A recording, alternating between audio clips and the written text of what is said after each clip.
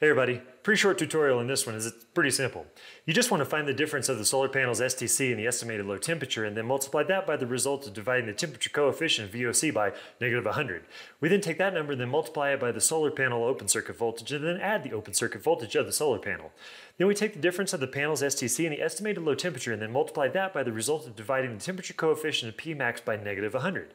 We then want to take that number and then multiply it by the solar panel wattage and then add the solar panel wattage. You multiply both of those numbers by the solar panels in your array and then cross-reference those numbers on this sheet and you'll be pretty much good to go. Easy as that. Okay, cool. Be sure to subscribe. Hey everybody, it's Nate from Explorist.life and in this video, I'm going to teach you how to choose the correct size of charge controller for your solar panel array. Now before we get rolling, if you're looking for full wiring diagrams where you don't need to determine the size of charge controller for yourself, I've got a full set of Campervan electrical wiring diagrams and parts list that you can check out and see if they fit your needs. I made these available to you for totally free right up here. Okay, let's learn how to size a charge controller. Now here's a super quick recap of what a solar charge controller actually does. Your solar panels will put out a voltage that is much higher than what is safe to charge your batteries at. The charge controller is wired between your solar panels and your batteries, and it regulates that high and variable voltage down to a voltage safe to charge your batteries with.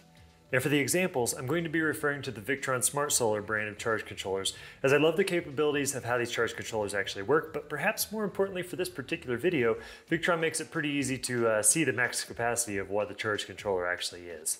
The first number here is the maximum amount of incoming voltage from the solar panels that the charge controller can handle. The second number is the maximum amount of output amps the charge controller can produce to charge the batteries. Now I'm going to be diving into some math in this video, but if you stick around for the full video, I've made something for you that's totally free that will make your life much easier. But we'll get to the easy way later. We're going to do it the hard way first. The first thing you're going to need is the specs of your solar panels. These can usually be found on their product page or simply on a sticker on the back of the panel itself. For this example, I'm going to be using this Myo 100 watt solar panel with these specs. You'll also need to know how many solar panels you have in your array. And for this example, we're going to also assume that all of your panels are wired in series. Now, if you're thinking critically at this point, you may look at your spec sheet and think, well, I need five of these 100 watt panels in my solar panel array, and I can see that my open circuit voltage is 22.65. I'll just multiply that by five, and the most voltage I can ever expect to see coming from my solar panel array when wired in series should be 113.25 volts. Now that's not really accurate because as temperatures get colder, panels can produce more voltage. That scenario I just gave resulting in 113.25 volts, that's only accurate if the panels are at a temperature of the standard test conditions, which is 25 degrees Celsius or 77 degrees Fahrenheit. So, to figure out what kind of voltage we can expect to see as temperatures start to drop, we need to first estimate the lowest temperatures our panels will ever see. So, for us, last winter in British Columbia, the sun peeked over the horizon one morning with a low temperature of negative 43 degrees Fahrenheit, or negative 41.6 degrees Celsius. So, I'm going to say that's probably pretty much the coldest we can ever expect to see, and I'll round that down to negative 45 degrees Celsius just to have a little bit of a buffer. Next, we need to plug in some solar panel stats into this formula. We need to find the difference of the solar panel's STC and the estimated low temperature, and multiply that by the result of dividing the temperature coefficient of VOC by negative 100. We can then take that number and multiply it by the solar panel open circuit voltage and then add the solar panel open circuit voltage. That will give us the voltage that each panel will produce at that estimated low temperature. We can then multiply that number by the panels in the array, and that will give us the maximum amount of voltage we can ever expect from our solar panel array to ever produce. So 10 bonus points to anybody who noticed the math error right there. Order of operations got to me. Uh, but it doesn't really matter. It's more of just an example, and I wanted to clear it up before I got called out on it because I knew it would happen. Next, we need to find out how many output amps we can expect to see coming out of our charge controller to charge our batteries. So we need our panel specs once again. Now you may notice that the max operating current of a solar panel is 5.29 amps. And you figure that you'll just multiply that by 5 to get the total amps the solar panel array can produce. But don't do that. It's not that simple. Because that 5.29 amps is a result of 100 watts being pushed by 18.9 volts. Now remember, we're not charging our batteries at 18.9 volts. We need the charge controller to regulate the solar panel voltage down to a voltage more conducive to charging the batteries. So let's say something around the 14.4 volt range. This means that if those 100 watts are being pushed at 14.4 volts, the batteries are actually going to charge at 6.94 amps per panel. That's 100 watts divided by 14.4 volts gives us 6.94 amps.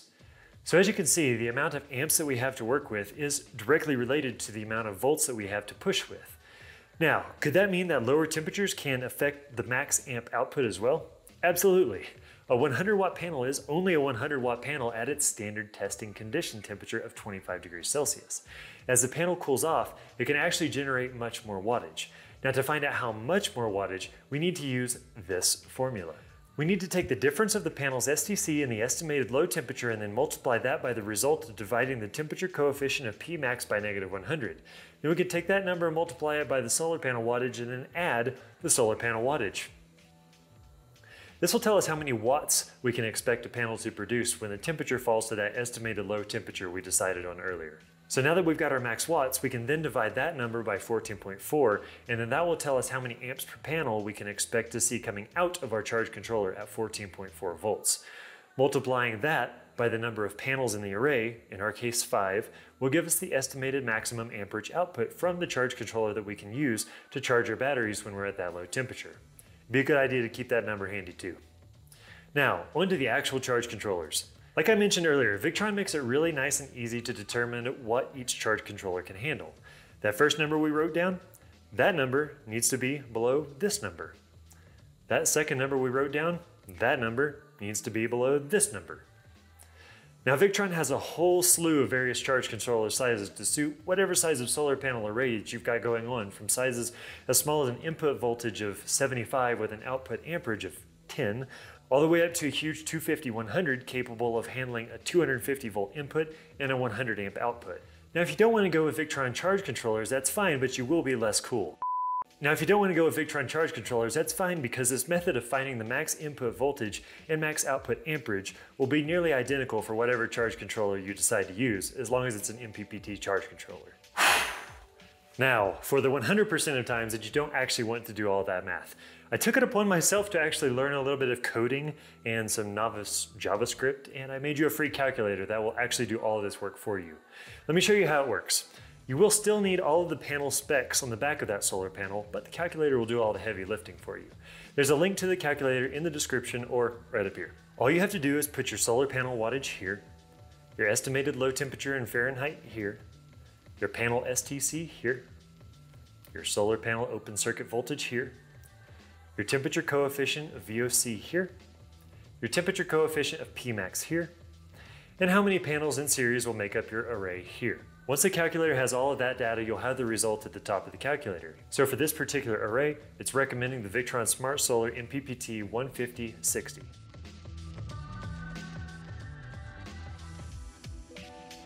Now if you want some more details about the array, I put a few more outputs at the bottom, and I'll just let you browse through those because I've also put some descriptions on what they are. And that'll be helpful for if you want to size a non-Victron charge controller or you just want to know more stats about your array. We made it. I'll be adding more features to this calculator over time. So if you've got a feature that you would like to see added to it, let me know in the comments below and I'll see if I can figure it out. I would like to thank the sponsor of this video, me.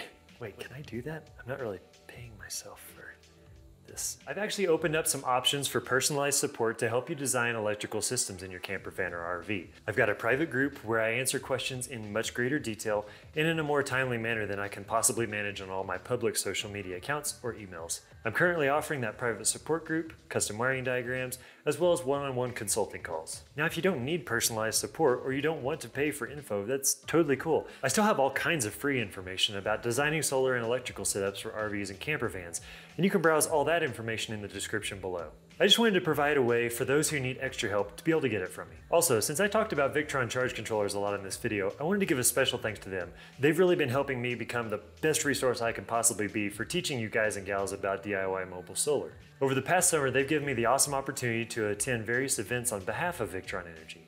Literally just to teach people about installing solar power on their camper vans and RVs. It's been pretty great. Thanks for supporting the channel, Victron. But that's all I've got for you in this video, and if it helped you, please give it a thumbs up and share it with somebody who could use it. Leave any questions you got in the comments below and subscribe if you want to be notified next time I make a video like this one, and I will see you in the next video.